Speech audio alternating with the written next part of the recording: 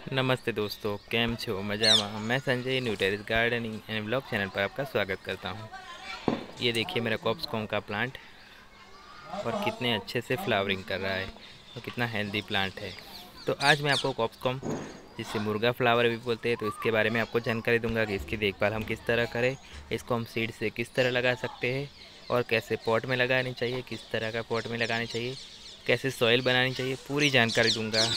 A A to Z इसकी care tips आपको बताऊँगा। कि आपका प्लांट बहुत अच्छे से सर्वाइव करेगा और ऐसे ही फ्लावरिंग करेगा। तो आप मेरे वीडियो में लास्ट तक बने रहिएगा और अगर आपको मेरा वीडियो अच्छा लगता हो तो अगर आपको मेरा वीडियो अच्छा लगता हो तो प्लीज़ वीडियो को लाइक कर दीजिए, हमारे चैनल को सब्सक्राइब कर दीजिए और अपने दोस्तों के साथ ही वीडियो शेयर करना मत भूलिएगा। तो सबसे पहले आपको ये प्लांट दिखाता हूँ और ये प्लांट मैंने सीड से ग्रो किया हुआ है और ये प्लांट बारह इंच के पॉट में लगा हुआ है। और ये सीमेंट का पॉट है। ये देख सकते हो आप।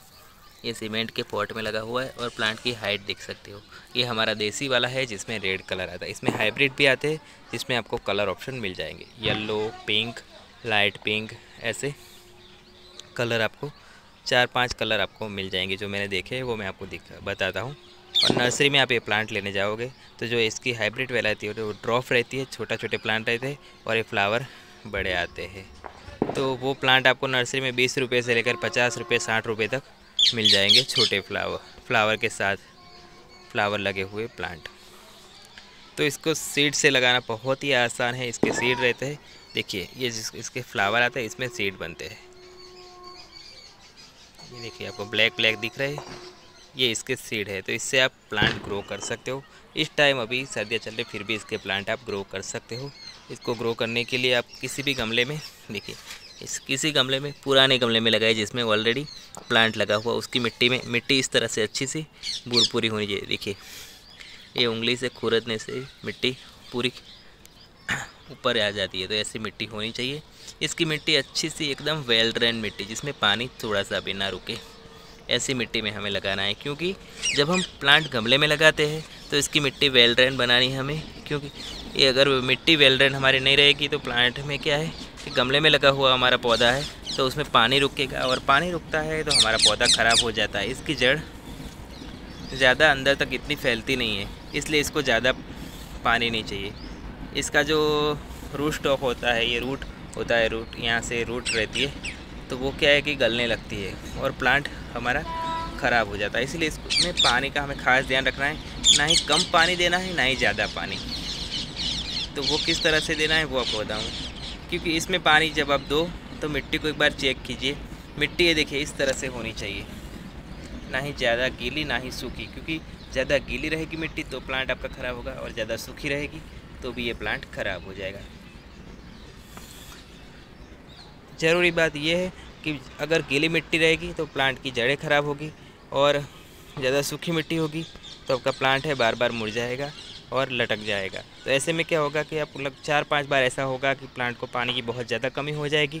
तो ये प्लांट फिर क्या है कि अपनी जान ही निकाल देगा। मतलब कि ये मर जाएगा, ख़राब हो जाएगा। फिर आप पानी डालोगे तो कोई इसका फ़ायदा नहीं रहेगा। तो इसीलिए इसकी मिट्टी में आप पानी एक दिन छोड़ के एक दिन डालिए, क्योंकि अभी सर्दियाँ स्टार्ट हो गई है और सर्दियों में क्या है, पौधों में हमें पानी चेक करके डालना चाहिए। सर्दियों में कोई भी पौधा हो, ज़्यादा पानी की वजह से मर जाता है, क्योंकि सर्दी में धूप इतनी ज़्यादा मिलती नहीं है। और जो गमले की मिट्टी है, वो सूखती नहीं है।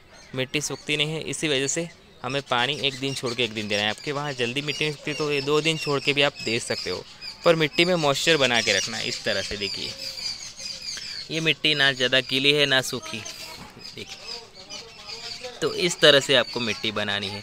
ऐसी मिट्टी रहेगी ना तो आपका पौधा कभी ख़राब नहीं होगा। तो आपके सीड लगाने के, ये देखिए। कहीं भी आपको ये पौधा दिखे तो इस तरह से आप ले आए। देखिए छोटे छोटे आपको दिख रहे ये इसके सीड है, एकदम छोटे छोटे रहते हैं। तो इस सीड को आप पुराने गमले में जो भी प्लांट लगा हुआ, इसमें इस तरह से डाल दीजिए और मिट्टी पर रख दीजिए। तो ऐसे आप इसको प्लांट को ग्रो कर सकते हो। अब सनलाइट के बारे में बात करूँ तो इस प्लांट को आप ऐसी जगह पर रखना है, जहाँ कम से कम दिन की चार घंटे की धूप मिले। अच्छी सी डायरेक्ट सनलाइट मिलनी चाहिए। इस टाइम इतनी ज़्यादा धूप गिरती नहीं है, इसीलिए इसको डायरेक्ट सनलाइट में हमें रखना है। जहाँ मॉर्निंग लगभग सात आठ बजे जब भी सूरज निकलता हो, तब से लेके बारह एक बजे तक की धूप मिले। वैसे जगह पे प्लेस कीजिए। तो आपका प्लांट अच्छी ग्रोथ करेगा। ये देसी वाले में प्लांट काफ़ी बड़े हो जाते। अगर ज़मीन में लगा हुआ पौधा होता तो इससे भी बड़ी हाइट हो जाती है।